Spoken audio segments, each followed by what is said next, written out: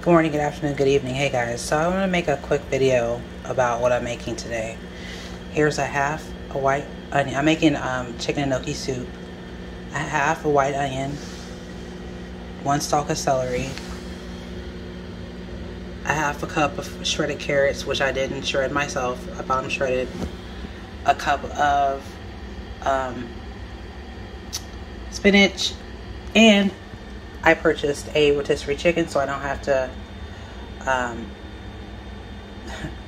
cook a chicken myself. Hold on a second. And this is four cups of chicken stock. They said broth, I like to use stock. And also some minced garlic and a teaspoon of, I use fresh thyme, so I got some fresh thyme from the store. And I'm gonna saute the um, carrots um, celery and um, onion in and garlic in a, ta a tablespoon approximately of olive oil. Then I'm gonna add the chicken. Then I'm gonna add the gnocchi and all the other stuff, and I'll let you know what that is too on the screen. Okay, and we'll see how. Oh, and you need half and half as well. All right, I'll be right back with you.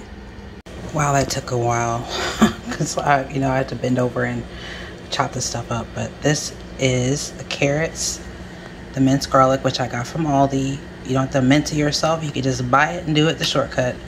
Um, celery and um, onion with one tablespoon of um, oil. Gonna make gonna saute this until the onion becomes translucent and then I'll add the other items. I'll be right back.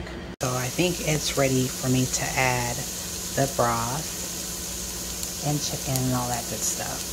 This is four cups of chicken stock. I got Rachael Ray because it was on sale for two for six dollars. So I got two of them so I have a backup for next time I make some soup. And then, sorry about that. Let me get my thyme. Uh oh. I had some beef bacon. Beef bacon. It was really good. Okay, so there's the thyme. And I'm gonna go ahead and put the phone down and get the chicken put in there.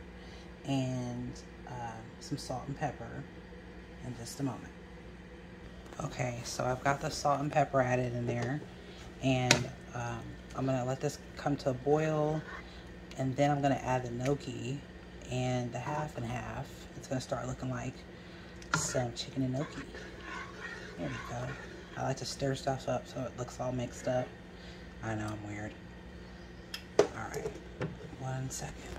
Well, it's going to be a second to you. It's going to be a few minutes to me. And I'm sorry I keep on saying one second like I need to. I know that's annoying. I'm going to try to edit it out. No, I'm not. I'm lazy. Alright. I'm going to sit down for a second. I'll be back with you when it starts boiling. We'll add the rest of the ingredients and let it simmer for a while. And then we're done. It's really simple soup.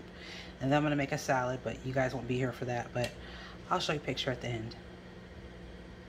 Okay, so now that it's boiling, I'm going to put in the chicken and let it cook for about three to four, well, three to four minutes on boil. And then I'm going to turn it down to simmer for 10 minutes. After that, I'm going to add the half and half and the um, roughly chopped, I just chopped it, um, cup of spinach and it'll be done. In the meantime, I'm going to make my salad. So let's add the gnocchi. I said chicken, but I meant gnocchi. Hold on a second.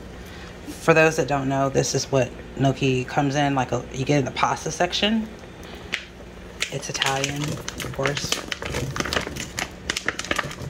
or you can make it yourself, but girl, please.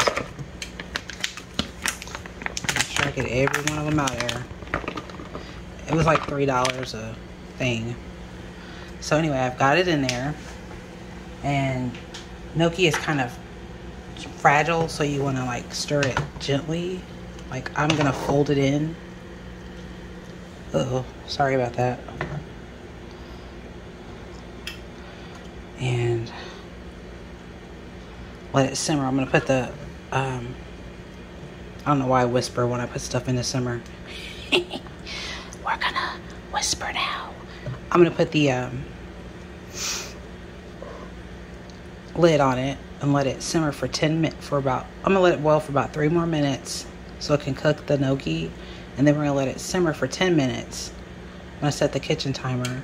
And then I'll be back when it's time to add the cream and spinach.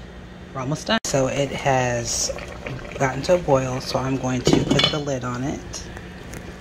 Reduce the heat. And let it simmer for about 10 minutes um, let's see, kitchen timer. So that's done. All right. And we're to let that cook for 10 minutes. And then we're going to add the half and half. And the, you can use heavy whipping cream if you like to. Um, or milk. Just some kind of cream. I chose half and half because of the cal caloric intake. Um, and then I guess I could have used skim milk, but I like it to be a little creamy. Anyway, um, so I'm gonna add the spinach as well at the end because you don't want it to be like the spinach to be all draggy. Anyway, so there's that, and I'll be back on the final, the final countdown. Right now I'm working on my salad, so um, I'll show you that too. Well, I'm not gonna show you me making it, but I'll show you the end product. Okay. Okay, so now we've got it cooked and we're gonna put in the cream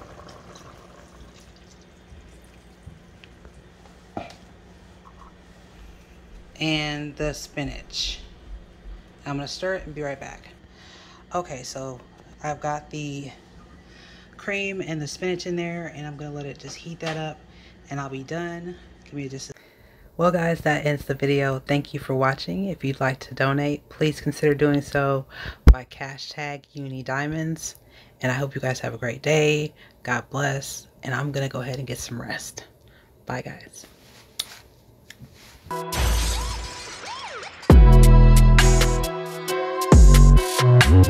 Thanks for watching.